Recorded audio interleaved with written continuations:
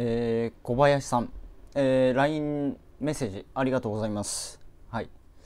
えっ、と、いきなりぶしつけなお願いで大変恐縮なのですが、本日販売を終了した電子書籍ビジネス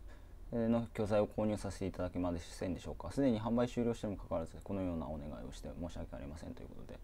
メッセージありがとうございます。はい。まあ、メッセージいただいたので、まあ、全然いいですよ。はい。あの、リンクの方送ってきますので、あの、そこからもう販売ページの方はちょっと終了しちゃって受付終了になってますんで、えー、リンクの方お送りしますんでそちらをご確認いただければなと思います。で、えーとまあ、今回の、まあ、ちょっと LINE アットでも配信したんですけど、まあ、リスクはほぼないですしもし内容を確認してあのなんかクソ商材だったなとか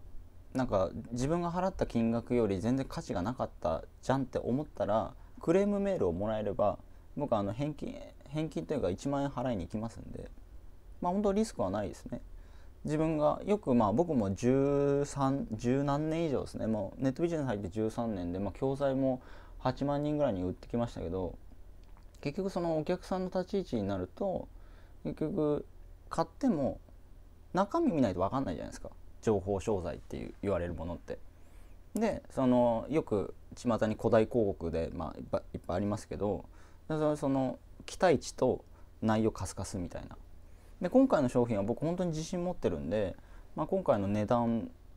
で多分入らない。絶対手に入れられないと思います。この内容っていうのは。だ僕は自信はあるんですけどただそれは見てる人の価値観によって変わると思うんで、まあ、もし内容が自分が払ったお金より全然ね価値がないと思ったら、まあ、遠慮なく言ってください。であとその電子書籍に関してはですね本当にレターでも書いた通りあのみんなやってないんで やったもん勝ちかなと思いますけどね。僕もあの来、まあ、今年はちょっと難しいんですけど来年からもう本格的にちょっとガツガツやっていこうかなと思ってますんで、はい、まあ本当にブルーオーシャンですね。多分周りに電子書籍やってる人いないと思うんですよ、まあ、最近 YouTube に関しては YouTuber が結構ねヒカキンさんがガーって露出してあのまあ、YouTuber になりたいなっつって動画撮ってる人出てきましたけど YouTube はもう参入障壁高かったんですね動画撮ってアップロードするっていうのが。だけどやっぱその影響力の問題で結構みんな YouTuber になりたいみたいに出てきましたけど電子書籍は